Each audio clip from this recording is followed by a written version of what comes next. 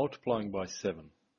The rule for multiplying by 7 is double the number, add 5 if the number is odd, and add half the neighbour. Let's have a look at an example.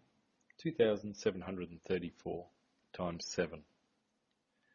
First thing we'll do is put a 0 in front of our number. Then we start at the right hand side. We have 4.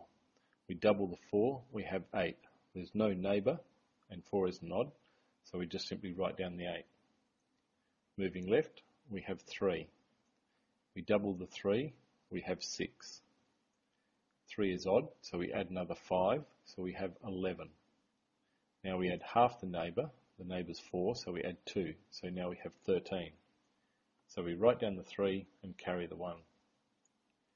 Moving left, we're at 7.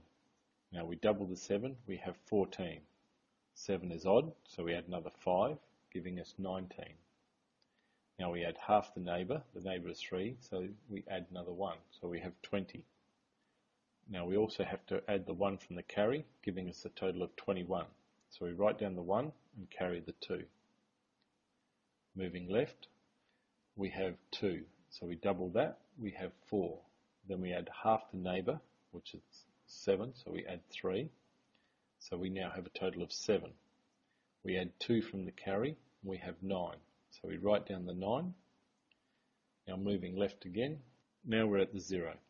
We can ignore that, but we have to add half the neighbour. The neighbour is 2, so we have 1. So we just write down the 1, and there's our answer, 19,138.